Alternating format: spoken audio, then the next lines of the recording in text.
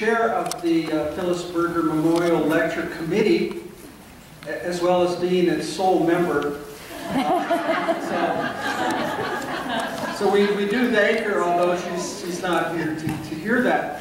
Uh, From, um, from the Dean's Office, we, even though this is uh, not directly sponsored by the Dean's Office, uh, I'd like to welcome Dean Nicol Rae uh, from the College of Letters and Science.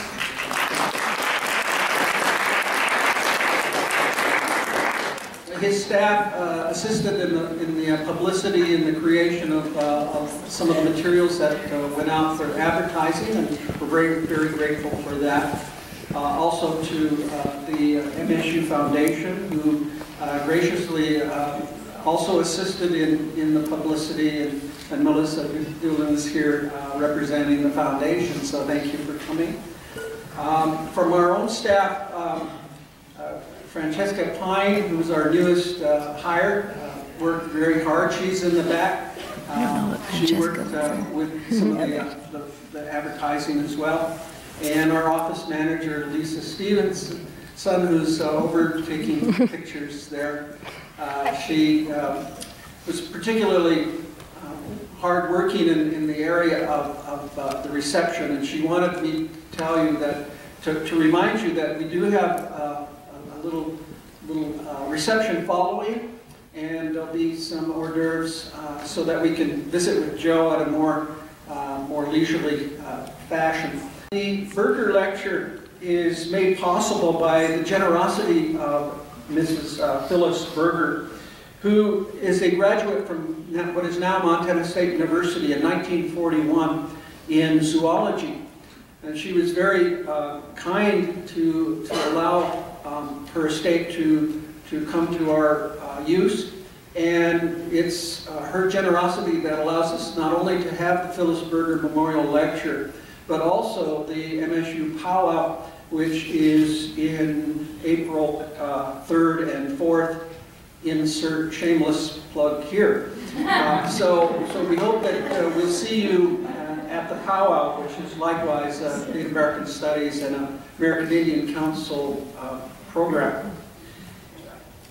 Uh, Phyllis Berger was instrumental in, in, uh, in uh, allowing uh, the Department of Native American Studies to, uh, to have a, a number of cultural and, and academic uh, enrichment type programs. And when we, we decided to honor her with this lecture series, we had only two, really only two criteria that we wanted to follow.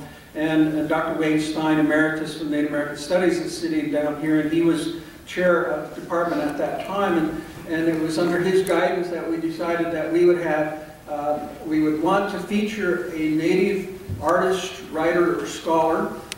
And, and we've only defeat, uh, only di- uh, diverted from that on, on several occasions. Once when the then governor of the state of Montana, Marc Racicot, uh, delivered our Berger lecture. And then we expanded the definition of, of, uh, of scholars to include indigenous scholars. Uh, we had a, a native Hawaiian scholar on one occasion, and then a, an Aboriginal scholar from, from uh, Australia.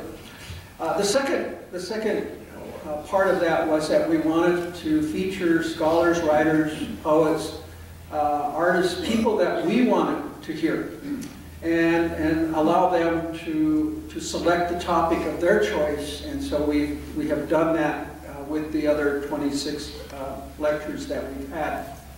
Uh, This year, uh, Joe Gone is our featured speaker, and there's also a tie. uh, It has been our culture to uh, ask the, the holder of the Katz Family Chair to serve as, as our, our Berger lecturer as well. And so that this year, we have that double pleasure of having not only um, a- a scholar come to visit us, but to come as, as uh, the Katz family endowed chair in Native American Studies.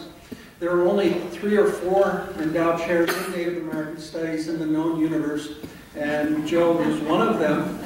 Um, This, this uh, chair is, is uh, supported by a, a- couple in Maryland by the name of Audrey and, and um, Shelley uh, Sheldon Katz. And we're very pleased that they were able to um, make the uh, endowed chair possible for us uh, in making our program uh, somewhat unique. And so Joe is serving double duty tonight, and, and aptly so. Uh, Joseph P. Gone is an associate professor of psychology in the clinical area and American culture in Native American Studies at the University of Michigan, and I've practiced very hard not to say Michigan State University, the other MSU. Um, and he is here as a visiting professor slash um, holder of our Katz chair for, for a one-year period. Uh, his, uh, he has uh, earned his undergraduate degree from Harvard College in 1992 and his doctorate in clinical community psychology from the University of Illinois at Urbana-Champaign in 2001. During his graduate training, he served as the Charles A. Eastman Dissertation Fellow at Dartmouth College prior to his completion of his psychology internship at the McLean Hospital, Harvard Medical School. Uh, Joe is the author of uh, many articles and chapters, and uh, they appear in such publications as the Annual Review of Clinical Psychology, Journal of Consulting and Clinical Psychology, the Counseling Psychologist, and the American Journal of uh, Community uh, Psychology, and the Havre Daily News paper. widely, widely published. Um, and, and uh, more recently, uh, Joe was named the uh, fellow in the John uh, Simon uh, Guggenheim Memorial Foundation. And uh, he's a peacetime veteran of the U.S. Army and a former West Point cadet. he is here in Bozeman with his family uh, and that includes uh, Tiya Miles and their three children, uh, both of whom were subject to a very nice article by Carol. I think I saw her, Carol Schmidt. A wonderful article that you'll see on the front page of the MSU uh, uh, website uh, entitled They've Gone Miles, wink wink, nudge nudge. Uh, two prominent scholars using awards to research at Montana State University. And so would you welcome Joseph Gone?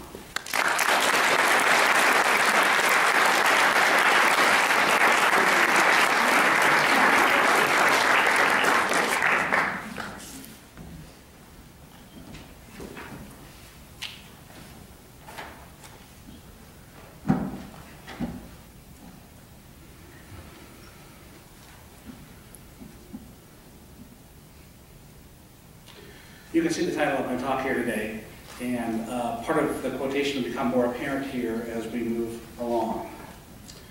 I really have four different goals of this particular presentation, and they are as follows. First, I want to introduce a post-colonial predicament for mental health services in American Indian communities. Then I'd like to identify distinctive features of a Gros Ventre cultural psychology that contrast in certain important respects with mainstream psychology. Then I'd like to review these features with reference to four vignettes associated with my research. And finally, I'll summarize the implications of this research for pursuing greater pluralism in psychology. So let's start just by introducing this post-colonial predicament as the background, the context for mental health concerns within American Indian communities.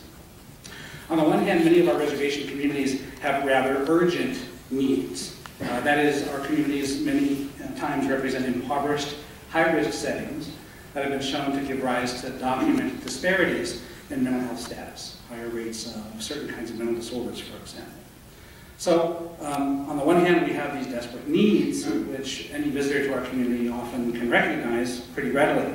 But on the other hand, the clinical services that are developed and designed to remedy these sorts of problems are often considered incongruent and by incongruent, I mean they're considered culturally incongruent in many respects. One way that Indian people often talk about this in the context of mental health in reservation communities is to assert rather than pursuing greater additional clinical services, they will instead opine that our culture is our treatment and look backward to tradition to try and figure out how best to harness it for remedying the ills of Indian country today. Now, these commitments uh, to an alternative approach lie in this concern with incongruent cultural or clinical services. And these have been attested to both by regular Indian people you talk to who work in the behavioral health sector within Indian reservation settings, as well as by various research studies that have looked into this. Uh, for example, in Midwestern reservations, many family members have been asked to rank order the kinds of helping services they would find most beneficial. And they rank elders and healers and traditional leaders and cultural authorities at the top of their list, but psychologists, psychiatrists, and Indian health service personnel much lower. Now, it's one thing to say that clinical services are incongruent. It's another thing to try and unpack what that might mean. And so today, that's what I want to do in the time that we have, is to talk a little more in depth in the context of a single reservation community about the ways in which clinical services might be incongruent in cultural terms. And this is going to reveal, I think, on the one hand, limitations of mainstream psychology when it comes to addressing mental health concerns in Indian country. And of course, on the flip side, the need for a more expansive and diverse, or rather pluralist, conceptions of psychology than typically are found. So let's start with a vignette. That stems from the community mental health research I've undertaken in the past on the Fort Belknap Reservation in Montana. So you have here, of course, the state of Montana, you have the seven reservations uh, here, and then we've zoomed in on the north central area where the Fort Belknap Reservation lies. Now, the Fort Belknap Reservation, as some of you might know, is home to two peoples, the Gros and the Assiniboine uh, nations. And uh, my particular interest as a member of the Gros Nation is to study something about the mental health concerns of Gros people. And so I began undertaking research in the late 1990s that was designed to explore and understand how mental health issues are talked about and experienced among Ventre people. And my particular interest in doing so was ultimately to try and trace out what some of the implications of that understanding might be for mental health services specifically. So I undertook a series of open-ended, discovery-oriented interviews. That is, I didn't start out knowing or guessing what people would say. I wanted to ask questions that would lead them to talk in their own terms about how they thought about mental health issues. And I got several intriguing leads from things people told me that warranted further inquiry. And so I spent some time over the past decade trying to trace these leads to find out the ways in which mental health might be experienced and expressed among Fort Belknap Gros Ventres. Now what's interesting about many of the things that I found out during these interviews starting in the late 90s was that some of the things I heard were very much marked by what we call interpretive ambiguity. That is, there was some sense that perhaps these were familiar enough they didn't indicate anything all that different, and therefore could have been easy to overlook or ignore unless one traced them out in a lot more depth and nuance. So let's start then by offering some examples of the things I heard that led me to wonder if there could be a different sense or sensibility surrounding mental health concerns at Fort Belknap. Just as a prelude, as a graduate student when I was often home, people would endlessly ask, are you done yet? And then the second question would be, uh, well, so what are you taking up over there again? And I would explain that I was a psychologist taking up mental health concerns and issues. And as soon as I said I was a psychologist taking up mental health concerns, people would avert their gaze and start shifting nervously on their feet and make some kind of joke about mind reading. now, I took from this that people were a bit uncomfortable with the idea that I could be assessing their mental status as we stood there visiting, and that they had some interest in guarding one's thoughts from intrusive attention assessment in more general terms. Of course, there's nothing necessarily stand, that stands out about that. Many people make jokes about psych psychologists who try to um, obtain insights into their character, or they'll even joke about diagnosis casually in the presence of a psychologist. And so, um, hard to know exactly what it meant. Now, once I began my research, a key person I talked to, who chose to be identified by his Indian name of Traveling Thunder, had a lot to say, it turns out, about mental health concerns that illuminated things in more detail. Traveling Thunder was a middle-aged traditionalist, also an environmental activist on the Fort Belknap Reservation. And what was interesting to me about talking with him was that he himself had no direct experience with mental health services. Um, I was particularly interested in finding out more about how Gros Ventres understood depression and drinking at Fort Belknap, as these uh, experiences played out. What I obtained from Traveling Thunder was what we might refer to as a plaintive discourse of distress.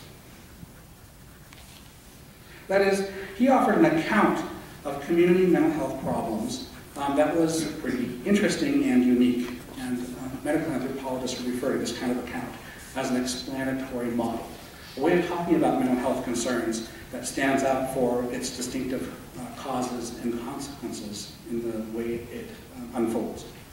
What was interesting about Traveling Thunder's explanation was that he emphasized history and spirituality as the source and origin of mental health problems, much more than the kinds of things that psychologists are likely to talk about, which include biology and psychological facets.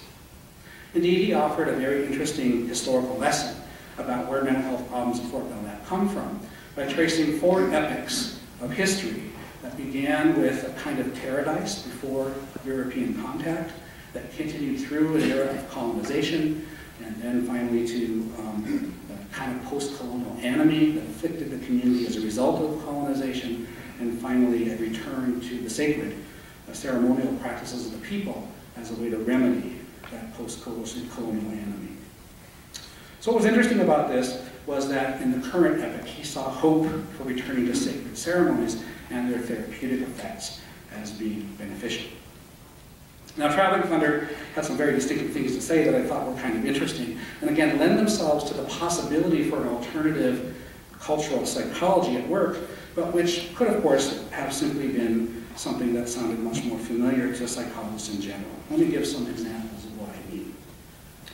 So, for one example, Traveling Thunder offered a rationale for ceremonial participation that I thought was pretty interesting. He said, quote, what that ceremony does is you put up a sacrifice, an effort, personal sacrifice, a family sacrifice, a group sacrifice. And what you're doing is you're calling on the creator, the spirit world, and what they call the grandfather spirits for something, for life, or for good health, or for a good, clean mind, an alcohol and drug-free mind, or you're calling on the spirit world for guidance, you know, or for survival, even survival. so what was interesting to me about this particular description of the approach of ceremony to remedying some of the mental health problems of Fort Belknap was that one of the five domains he listed was that ceremonial petition could lead to a, quote, good, clean mind. That's interesting language to me. Now, there's some ambiguity, as I say, interpretive ambiguity, some sense of not knowing really what to make of it, because this could have simply been a possible link to a broad discourse of recovery that happens through Alcoholics Anonymous and other kinds of self-help movements in Indian country. The idea of being clean and sober, for example, would be another phrase that might reference that discourse. Clean and sober, good, clean mind. Hmm. Also, our traveling thunder talked about ceremony as being not, necess not necessary for overcoming these problems, helpful but not necessary.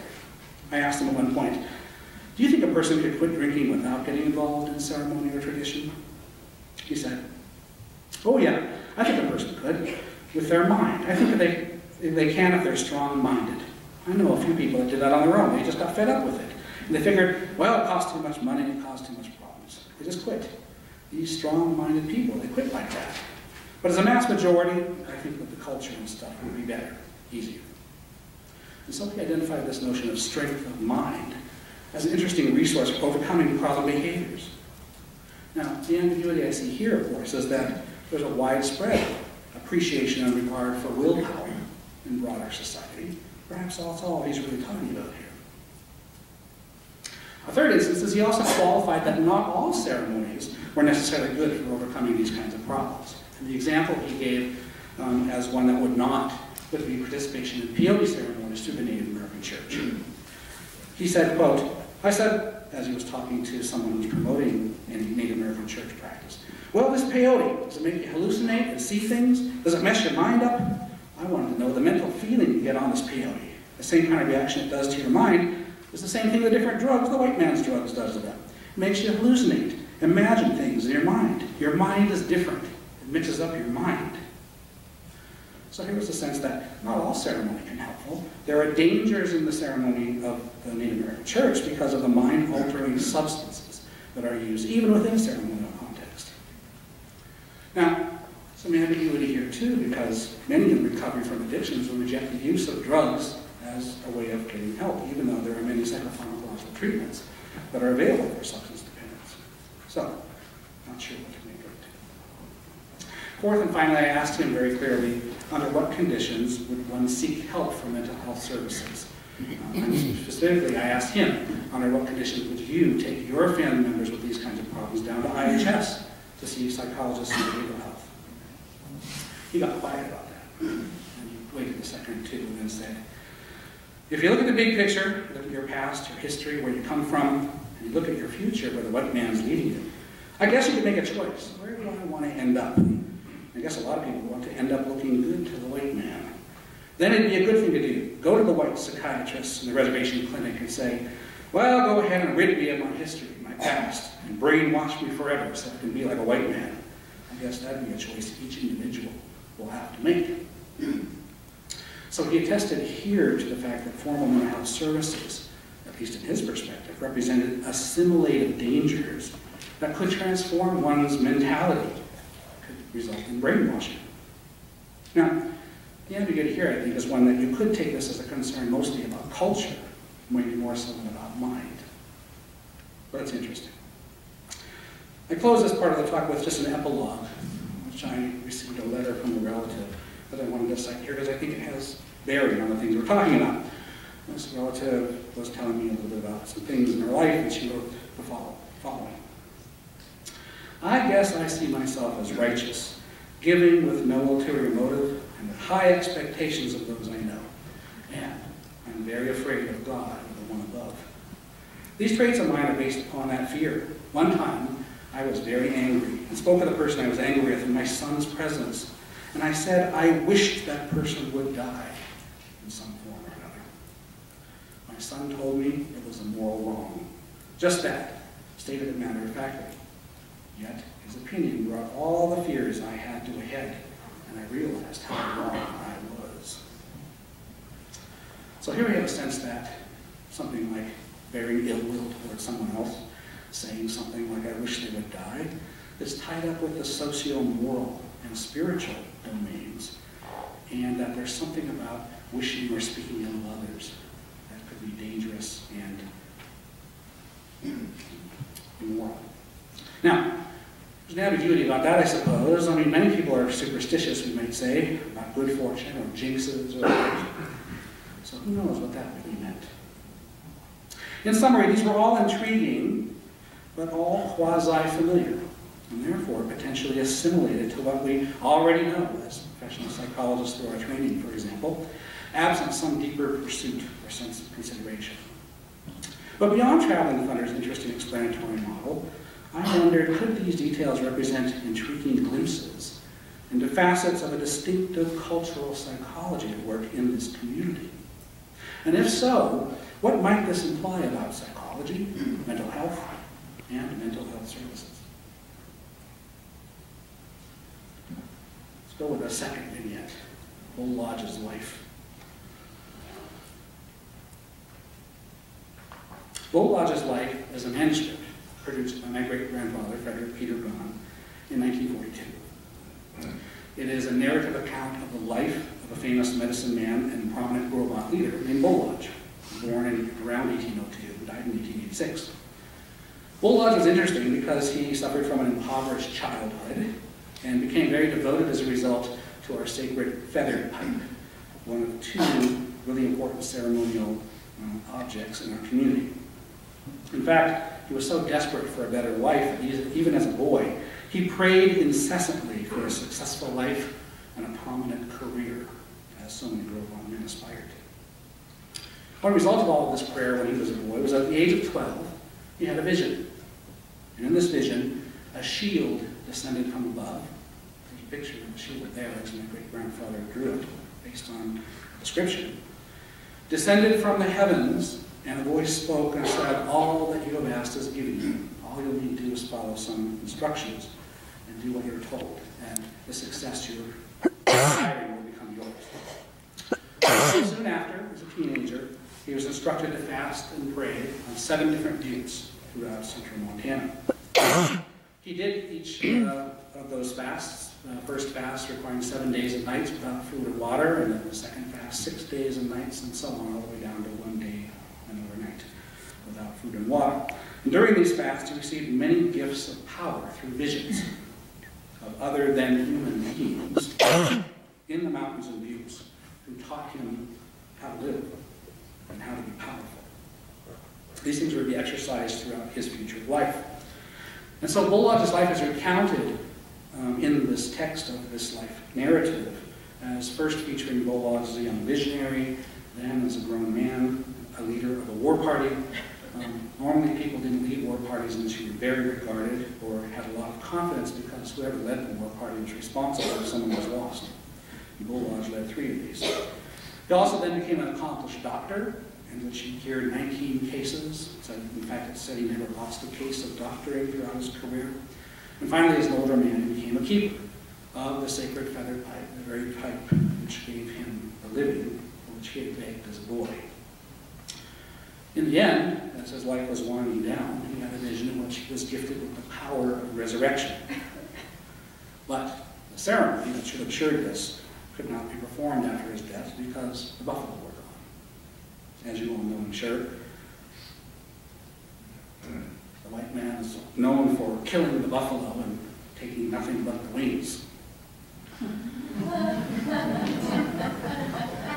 Bull Lodge's life is of interest, of course, to Gros Ventres in general. But my consideration of Bull Lodge's life stems from a more personal connection to this narrative, the one that comes from the fact that my great-grandfather was involved in its production.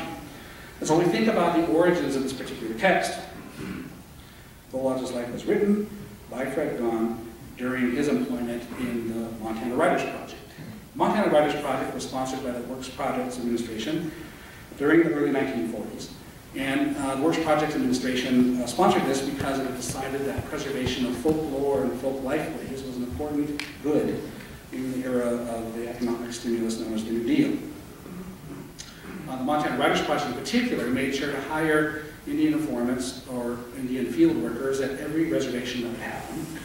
Uh, and the goal was to put together a volume, a book, uh, an Indian series, in which all the reservation field workers would send the things they wrote in and it could single volume and published.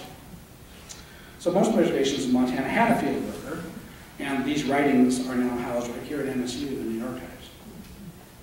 Now during his time as a field worker, just about a year, Fred Gone wrote roughly 400 pages of Gros history and 300 pages of Gros legends.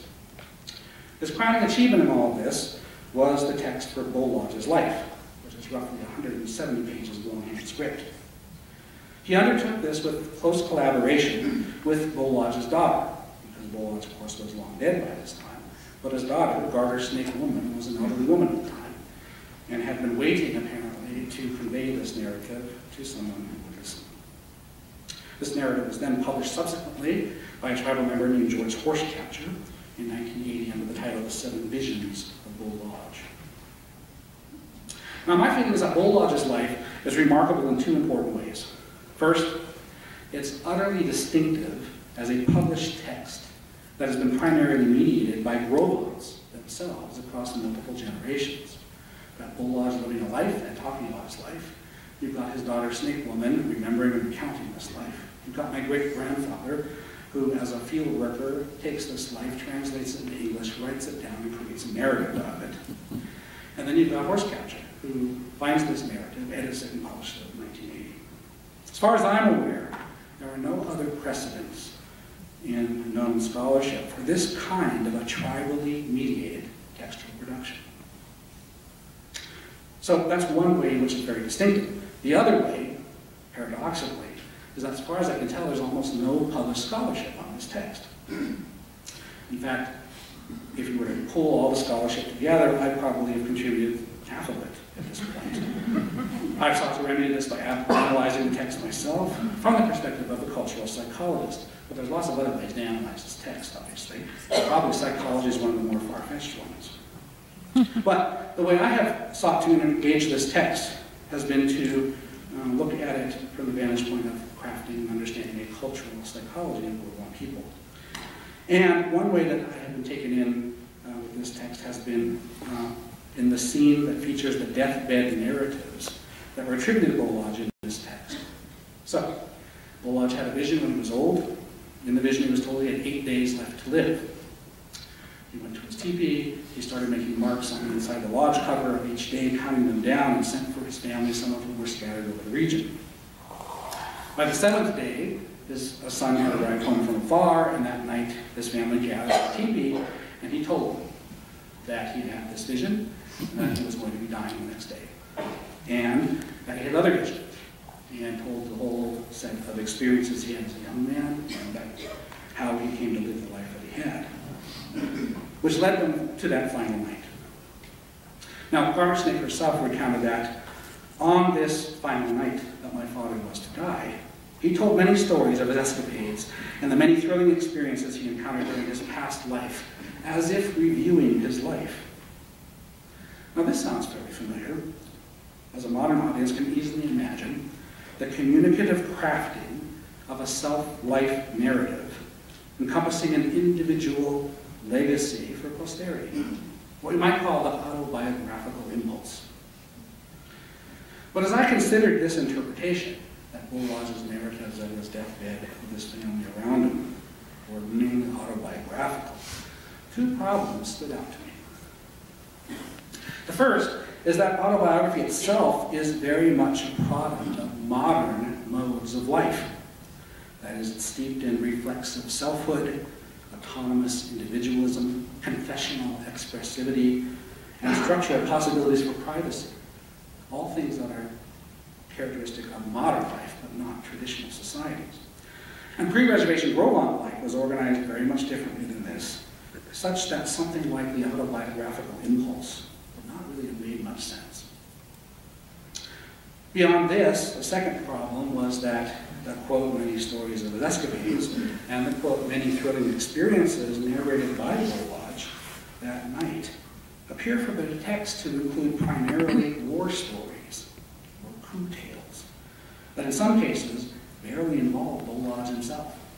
So if you look at this section of the text, the longest narratives that are recorded there are one involving Bull war friend, or enemy friend, named Sits Like a Woman, who had uh, led a war party that Bull was on, but the account was not about Bull And second of all, another war party in which the narrative focused on the life and exploits of Bobtail Horse. Bull may have been on the original war party, but the story was not about him.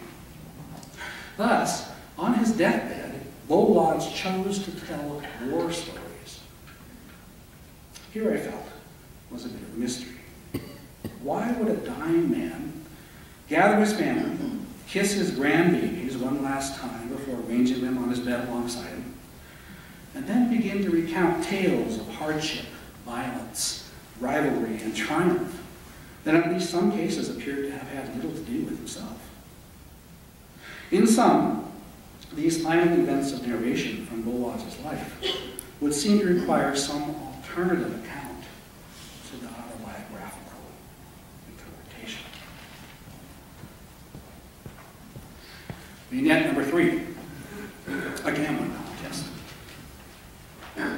One potentially fruitful way to pursue such an alternative account for what was going on in Bull deathbed scene was to contextualize these ambiguous findings within the existing ethnographic record for the Gros Ethnography is a form of inquiry that anthropologists undertake. Now, many American Indian communities, as you might know, express ambivalence, to say the least, about anthropologists, both past and present, in their midst. But the Gros case may be kind of different. First of all, anthropologist John Cooper visited Fort Belknap in 1938 he did so precisely because some of the old men among the tribe at that time were interested in having him come to make a record of their, quote, old way of life. In other words, he was invited in to preserve traditional knowledge at that particular time and place. Father Cooper, because he was actually an ordained Catholic priest as well as an anthropologist, brought along with him another junior anthropologist named Regina Flannery, both from Catholic University of America and they began their anthropological work of documenting Gros life. Their emphasis, particularly Father Cooper's emphasis, was on religious knowledge and practice, which is what the old men wanted them to preserve in particular. And my great-great-grandfather, the boy, was born in 1872 and died in 1956, was a principal collaborator in this knowledge production, in part because the boy was widely known to be the last keeper of our sacred flat pipe. Not the feather pipe that Bull Lodge followed, but the flat pipe. In other words, this was a conversation and an interaction and a relationship that unfolded between priest and priest. Cooper's fieldwork occurred between 1938 and 1948, 10 years before um, he passed away with a manuscript that could be published posthumously. In light of Bull Lodge's final oration, it seemed useful then to consider war among the pre-reservation Gros Ventre. And if you consult this ethnographic work, you quickly learn that war honors were absolutely essential for a man's status and career, that war stories were a very consequential narrative genre. In fact, prominent men were ones who were supposedly um, had their wrists made slim by being pulled to their feet to recount their war accounts, their war record, their war exploits, time and time again in social life. And these war stories could be prominent on even really surprising occasions. And one such occasion could be the Ventre wheel game. So, the Ventre wheel game is a gambling game. It's a game in which you have a stage, a, field about the width of this stage with two logs on either end, and you have this wheel out of a hoop wrappings and somewhat beads in it. It's about this big around. And you have two contestants. And the goal is the two contestants take turns rolling the wheel down the field. And each of them with a, um, an arrow or a stick in their hands run side by side along the wheel and attempt to judge when the wheel is going to tip over onto the ground. And the goal is to throw your arrow or your stick down right to the ground where the, the hoop is about to fall. And when the hoop falls on the arrow, then you get a point.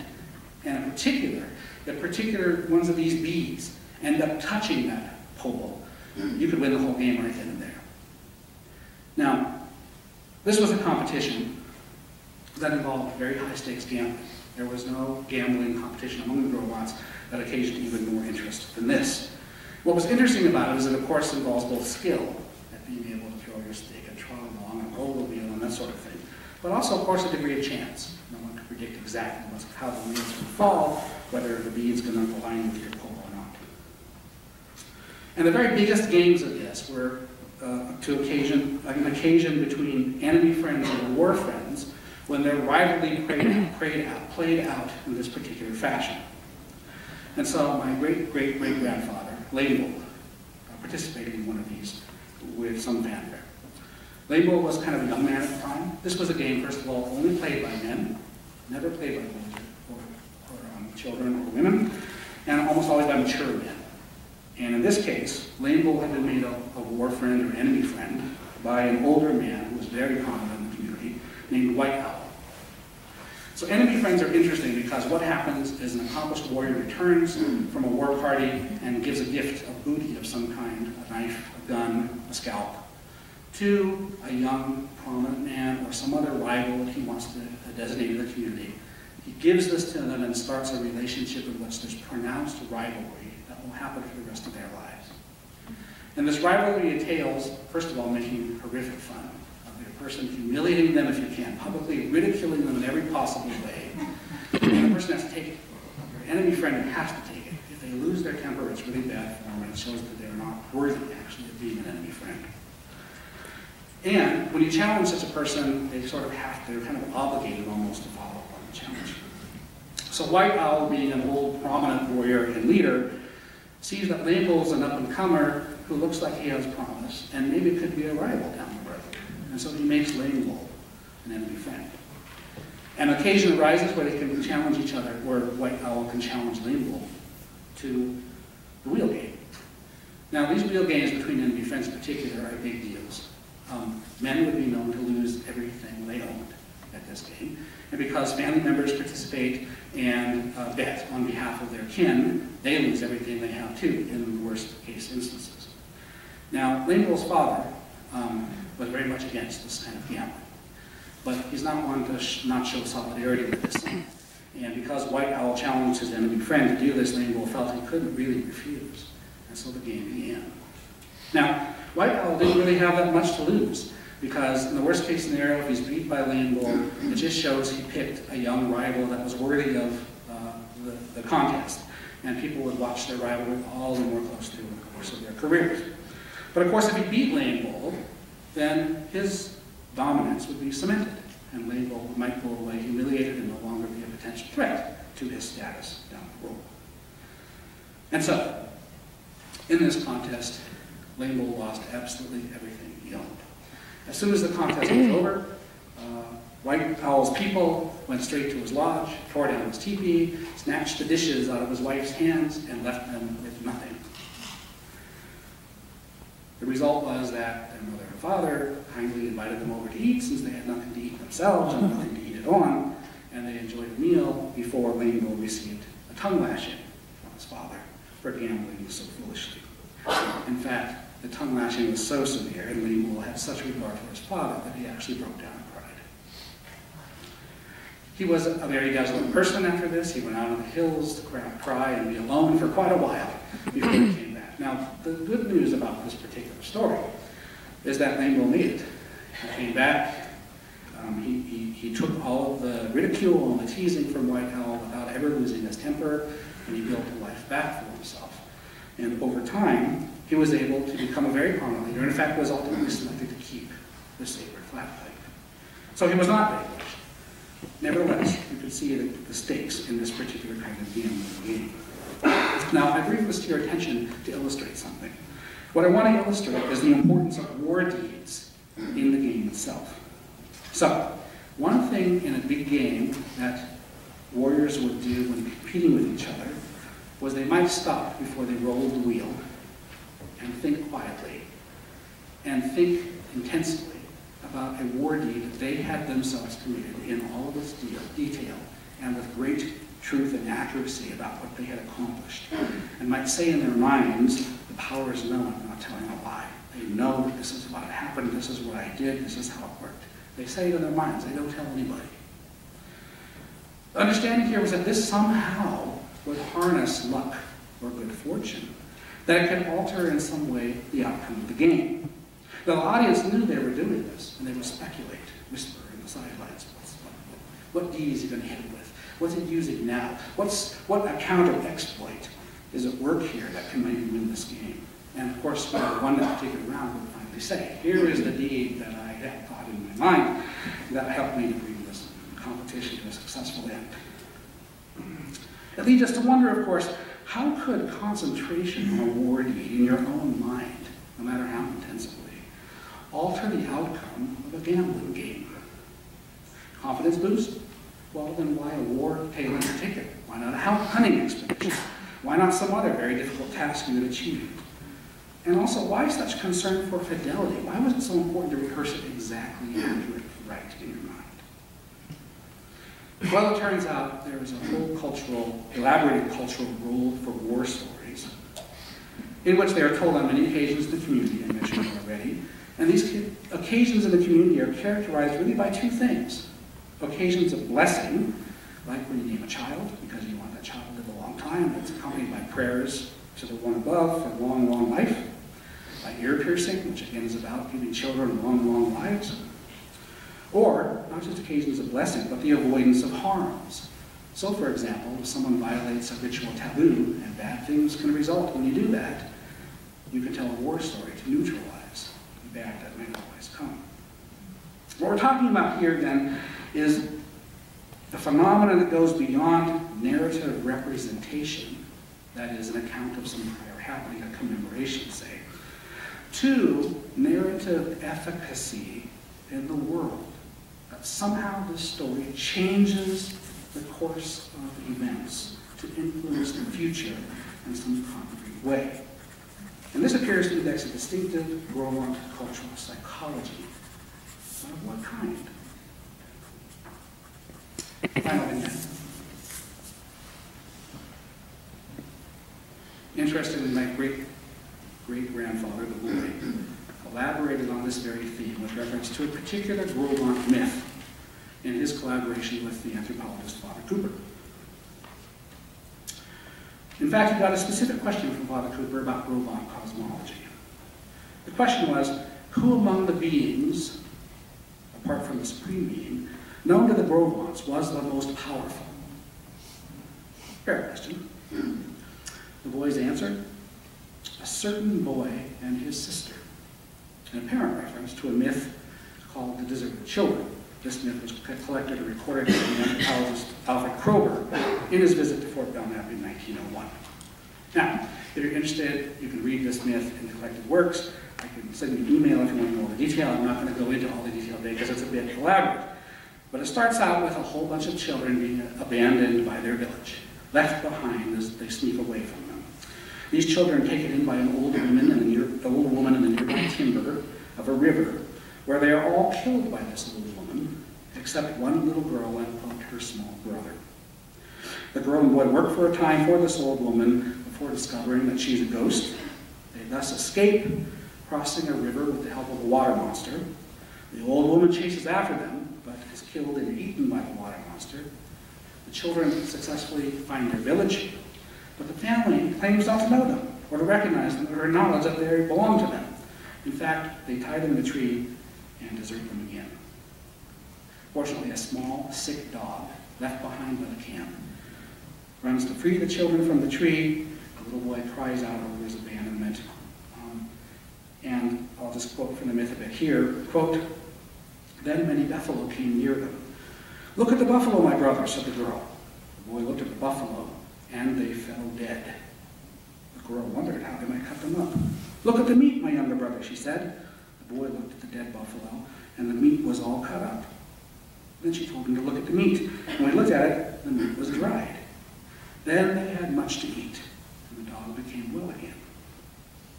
Using such power, the boy and the girl set up a bountiful camp. The dog, it turns out, is revealed to be an old man.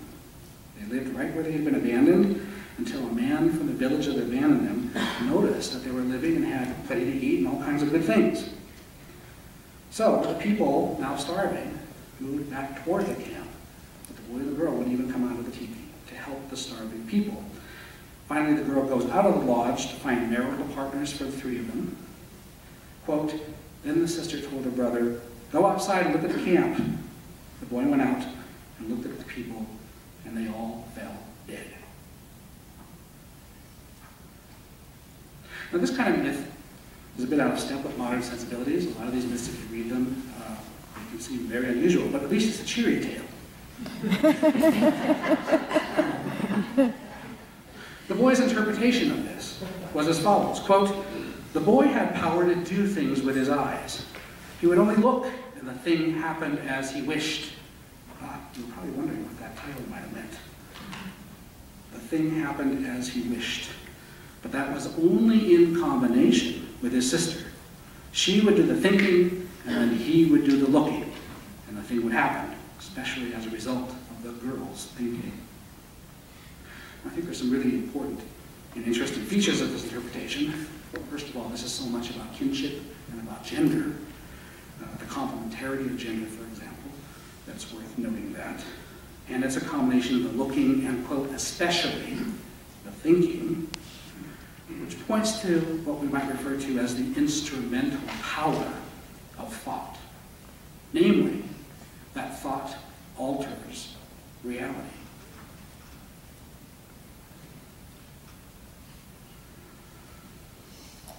Let's complete the journey here. A key concept in Gros Ventre cosmology has to do with this notion of thought or will or wish. And the anthropologists who helped write about this will say thought hyphen will hyphen wish, because it's an idea in which these things go together. Thought, will, wish is, first of all, a quality of personhood, as all sentient beings have it. It's an expression of personal desire, and it's channeled by concentration of the mind. Interestingly, the Supreme Being, the one above, has, was recorded as having four different names among the Gros Ventre. One of those is, uh, translates roughly as he who controls all by the power of thought. In other words, you might think of the Supreme Being among Gros Ventres as the prime thinker. And other Gros Ventres would say that all human beings have their life because of the thinking of the Supreme Being. Thought, will, wish is intimately linked to notions of power. Power, we might say, is the efficacious concentration of thought that brings reality into alignment with one's desires. Again, power is an attribute of personhood. All sentient beings might exercise such power. But in fact, all beings are actually ranked in terms of their ability to use power. Starting, of course, with the supreme being, the prime thinker, but a whole pantheon of other than humans who are very, very powerful as well. And these folks were acknowledged in formal ritual prayers all the time. Uh, the sun, the four older men, the last child, and so on. Turns out humans, who also have this power because they're persons, are actually quite low in this hierarchy of power. But older humans have more power than younger humans. And in fact, a really elderly, powerful medicine man was known to be able to kill someone with the power of their thought. Speech, prayer, and ceremony seems a way to exercise power. Speech probably because you could imagine it as being a combination of thought and breath, which involves the vocal utterance of one's thought. And this again has the potential to alter reality. And so we see that war stories become an important way of altering reality by virtue of vocally uttering the essence of a coup tale, which is that these are narratives of agentic triumph in which thought, will, wish have become instrumentally manifest in human action under circumstances harboring the greatest likelihood of destruction, when an enemy is trying to best you in battle. So we talk about war stories as representations, say commemorations, but the conditions of narration of coup tales reveal functions beyond representation proper. That is, they involve the circulation of potentially life-generating power, as in naming and ear piercing, and in neutralization of potentially destructive power, countering war dangers, reversing taboos, and so on. So, think back for a moment to the ambiguous instances I referenced from my early research at Fort Belknap about mind, strength of mind, um, the dangers of people intruding into your minds, and so on. The implications, I think, of all this for global cultural psychology, even today, are that there can be obvious concern of protecting the integrity of one's mind and thought, that one can exercise strength of mind in instrumental fashion, often in service to well-being or whatever. That one is obligated to police one's speech and thought in moral fashion. That is, there are prescriptions against harboring or expressing ill will, because power is expressed there. And one would experience ambivalence toward the ethos of modern therapeutic expressiveness that you might find in health services.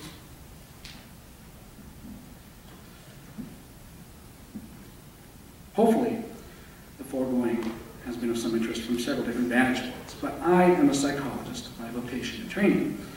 And so let me pause in closing to say what I think all this might illuminate about the prospects for pursuing greater pluralism in the field of psychology.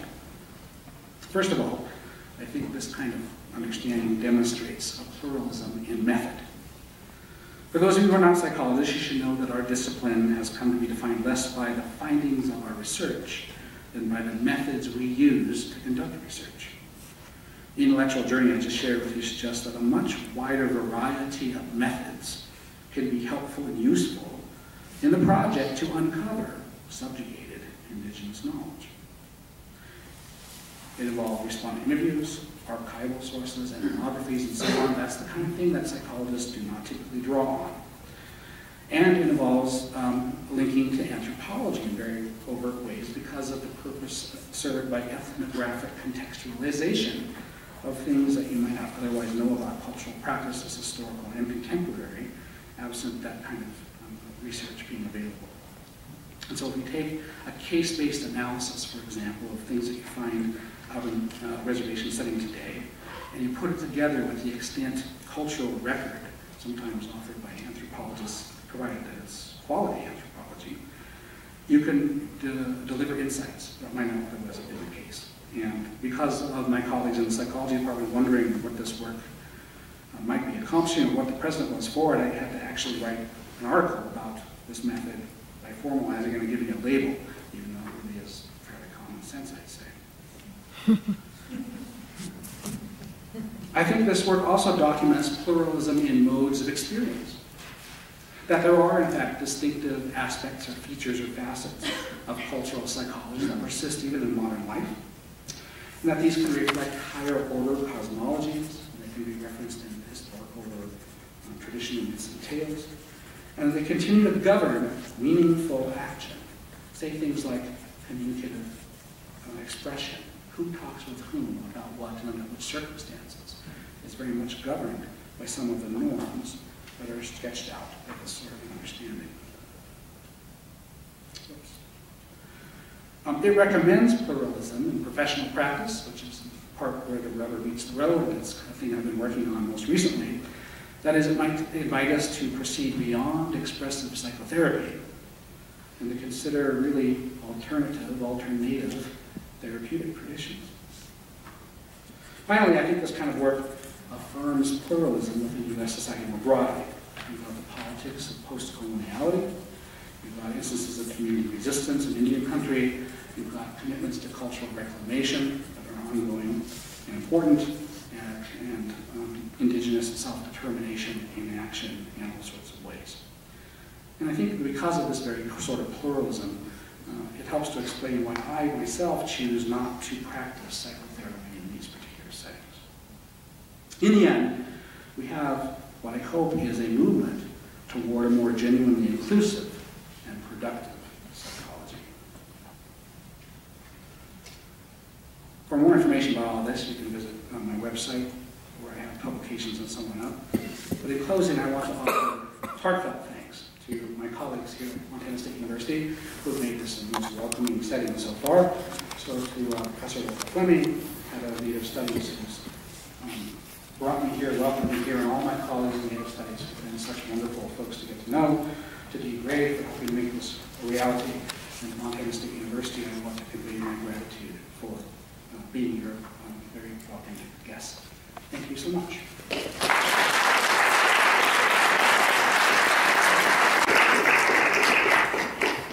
Have you developed alternative practices for mental health work instead of talking cognitive? Yeah. So the question is, have I developed some alternative approaches, therapeutic approaches besides psychotherapy, talking therapy, and so on? The first thing I can say about that is that it would be um, presumptuous of me to do that by myself. But what I have done is I've taken partnerships with tribal members in various communities to try together come up with um, alternatives to treatment as usual that take um, stock of traditional understandings and practices. Uh, A whole different talk I could offer would be about uh, partnership with the Blackfeet Nation Substance Abuse Treatment Program. Uh, The director is Pat Packlooking, and uh, we uh, put together uh, an alternative to treatment as usual there that looks very much like um, a culture camp, a cultural immersion camp that has been offered for clients during the summer months for a couple of years running now. And, um, you know, because we developed it together, it's really theirs. I mean, it's, they own it, they value it, they keep it going. Um, At this point, my role is pretty minimal. But it is something that we undertook together. It's something of which I'm very proud of, and it's something I'd be happy to talk about in a different venue in more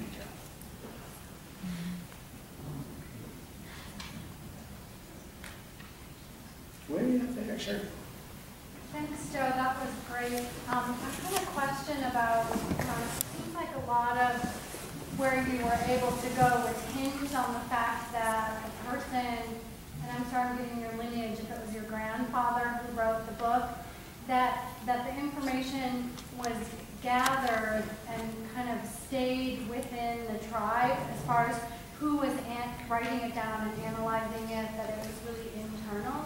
And I was curious if you know, if, um, is there a lot of that, the Histories Project from the WPA that's like that? Or is it, or was that really special that way? And a lot of the other stuff is more externally written down or by outside people? Yeah, so um, I don't know all of the material from the WPA or the Montana Writers Project from the Indian reservations. My sense is that something like Bull Lodge's life, though, is pretty distinctive, um, and that uh, Fred Gone's work on the Montana Writers Project was somewhat distinctive too, because I think he wrote and submitted a lot more than was typical of the reservation field workers. Um, It's also distinctive, I think, in the sense that Um, This was kind of recovered later by a tribal member and then published, so that hasn't happened very much.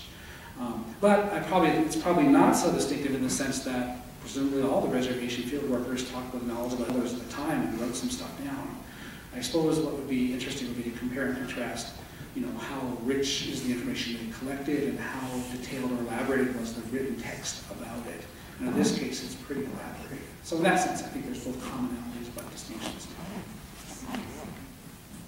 Yeah, Would you be able to be um, a little bit more explicit about the connection you're making between Traveling Thunder's Good Clean Mind and your discussion of the cultural psychology of the Gros Ventre people at, at the end of the talk?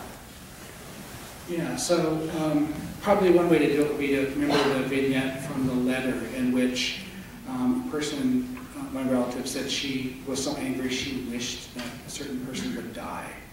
And that her son immediately said, that's wrong, you shouldn't have done that. And she immediately got very anxious, I would say spiritually, morally anxious over the fact that she wished that and said that.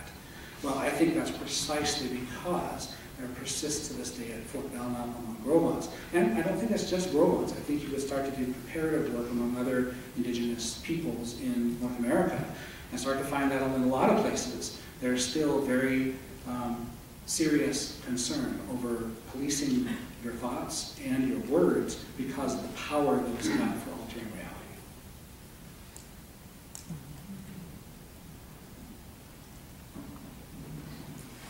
Well, uh, thank you. I I have one more ceremony. We all have ceremonies, and- and and I have one more. Uh, Native American Studies has has always uh, had a custom of of giving a blanket as a gift to our honored visitors, and uh, I I just want to make sure that we're not then enemy friends. I, however, do reserve the right to give you hell as much as I can. And so, uh, the blanket becomes symbolic of then our wish that uh, Joe will, will continue his journey um, with, with the warmth that we hopefully have, have uh, brought uh, to his life. And uh, so, want to make sure you get your, your, your, uh, your, your your right arm free so he can continue his battle while keeping his, uh, his shoulder uh, warm. Um, Thank you, and please join us. Again, we're not taking this food home. You can visit with Joe uh, more intimately out there. So thank you for coming.